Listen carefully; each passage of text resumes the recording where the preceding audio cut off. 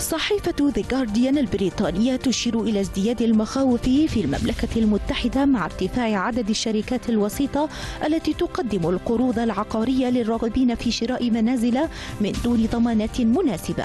وبحسب الصحيفة فإن هناك زيادة كبيرة مفاجئة في أعداد شركات أجنبية تمنح قروضا ميسرة تستهدف أشخاصا يعانون من الإفلاس أو أصحاب السجلات المالية المتعثرة مقابل فائدة مرتفعة.